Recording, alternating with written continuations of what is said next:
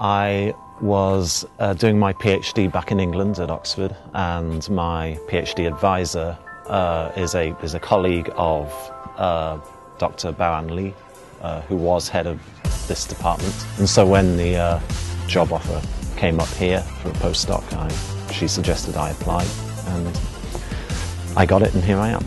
I study these objects called neutron stars, which are one possible um, outcome of a supernova explosion. And if it isn't too massive, it'll end up as a neutron star.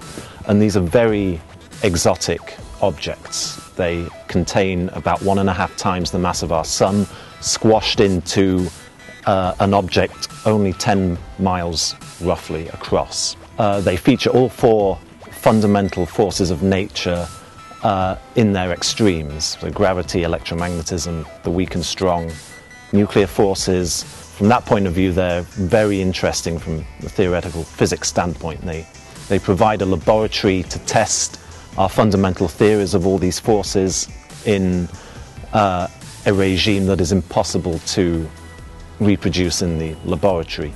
The first observational evidence we had of neutron stars uh, was through these objects called pulsars, very regular periodic beams of radio waves that uh, flash on and off. Their magnetic poles are not aligned with their spin axis, so the radio beam is sweeping around kind of like a lighthouse. You need the best nuclear theory available to, to be able to model these systems uh, and to be able to, for example, in the theory of nuclear energy, to develop more and more efficient ways of harnessing nuclear energy, whether it be fission as the standard nuclear reactors are, or hopefully sometime in the future nuclear fusion, essentially harnessing the powers, of the power of stars uh, for our own benefit. Fusion is the type, uh, the type of nuclear reactions that occur inside our sun, inside of every star. So th- there are some practical applications, specifically nuclear energy